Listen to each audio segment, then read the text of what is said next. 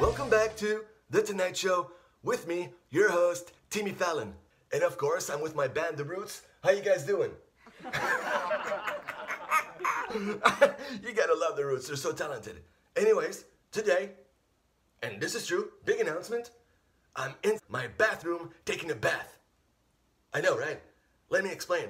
Someone mentioned to me, Timmy, you should really try taking a bath. I was like, what is a bath? I mean, I'm usually, I take showers like every day, but a bath, I was scared.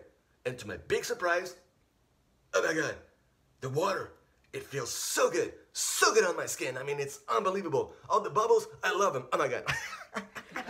but anyways, I highly recommend everybody, you should try taking a bath. It's so much fun. It's so good. feels so good. You'll feel relaxed afterwards. What are your thoughts on that, The Roots? We'll be right back.